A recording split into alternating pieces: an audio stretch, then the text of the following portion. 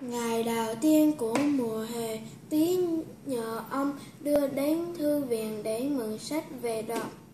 Thấy mẹ về trước cửa, Tí vội vàng chạy ra khoe với mẹ. Mẹ ơi, hôm nay con đã ghi danh vào chương trình đọc sách mùa hè. Chiều nay, lúc mẹ chưa đi làm về, con đã đọc xong một chương trong chương trong cuốn sách tiếng Anh và một mẫu truyện ngắn bằng tiếng Việt rồi đó mẹ. Mỉm cười nhìn tí mẹ bảo, con của mẹ giỏi quá, nếu mỗi ngày con đều siêng năng đọc sách như thế thì chẳng bao lâu nữa con sẽ có thể nhận quà rồi.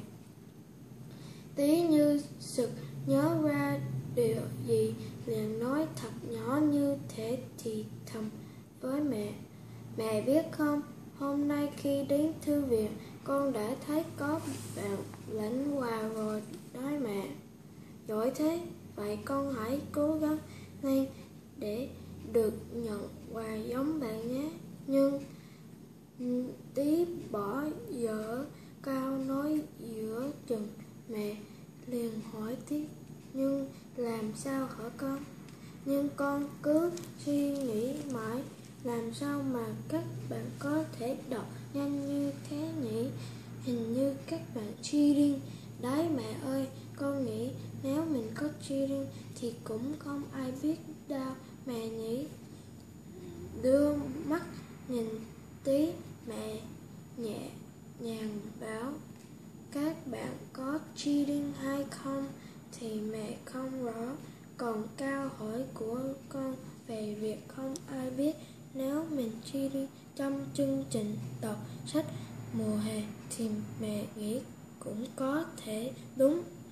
Khi khác, chúng ta sẽ thảo luận với nhau chi tiết hơn về vấn đề cheating còn hôm nay mẹ con mình chỉ nên nói về vấn đề reading thôi nghe ngừng lại một giây, rồi mẹ nói tiếp. Mẹ hỏi con câu này nhé. Khi con đọc một cuốn sách, ai sẽ là người có được những kiến thức từ cuốn sách ấy? Là con hay là một người nào khác? Tí nhanh nhảo trả lời mẹ.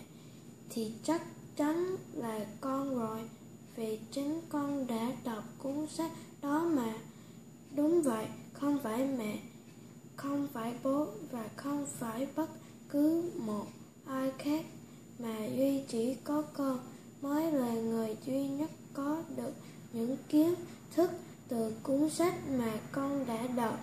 Khi con còn nhỏ, đọc sách sẽ giúp con rèn luyện kỹ năng đọc và viết của con khi lớn hơn, chút nữa đọc sách sẽ cho con thêm nhiều những kiến thực, thức hay trong cuộc sống chính vì vậy, đọc sách là một việc làm rất hữu ích cho chính bản thân mình con ạ à.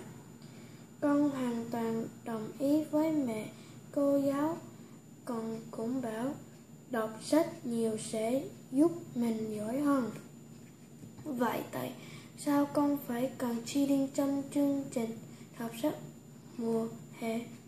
Câu hỏi bất ngờ của mẹ khiến tí trở nên bối rối, nhưng rồi tí cũng nhanh nhảo nhanh nhảo trả lời mẹ con đau muốn chi điên đau mẹ, con chỉ quanh đời như thế thế thôi mà Mẹ mỉm cười ao yếm, nhìn tí hôn lên cái má phúng phính của tí. Mẹ bảo, mẹ đùa thôi, mẹ biết con sẽ không bao giờ làm như thế mà mua mùa hè này. Hãy cùng bạn đọc sách mỗi ngày con nhé.